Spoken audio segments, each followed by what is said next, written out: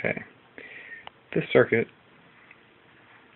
basically is built to um, drive this tank circuit and apply short pulses of current um, at the peak of the voltage waveform as it oscillates, the positive peak.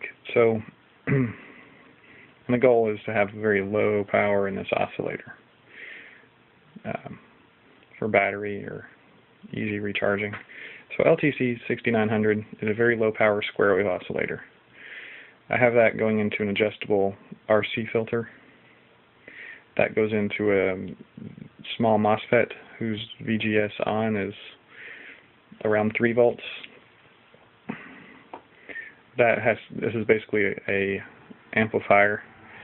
It amplifies the incoming signal to a to the required input of the IR2117 high side MOSFET driver. This is a minimum of 9 volts, maximum of 20 volts on that.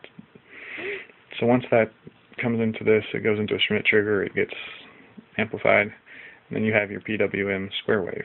Gets applied to the MOSFET, drives the MOSFET. This can be up to like 600 volts with this part, the floating uh, part of the circuit. The floating part of the output circuit is um, able to withstand 600 volts.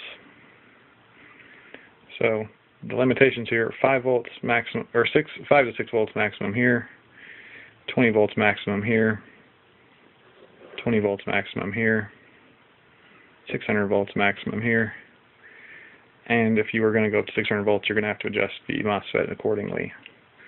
The IRF520 is only capable of 200 volts uh, drain to source.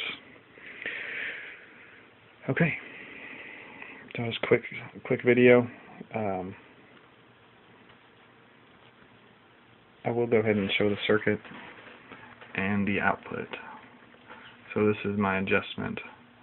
So as I adjust that, you can see the LED goes on and off.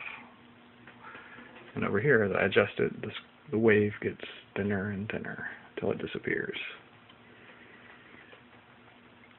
And then, so that's my duty cycle adjustment, and this is my frequency adjustment. that is all.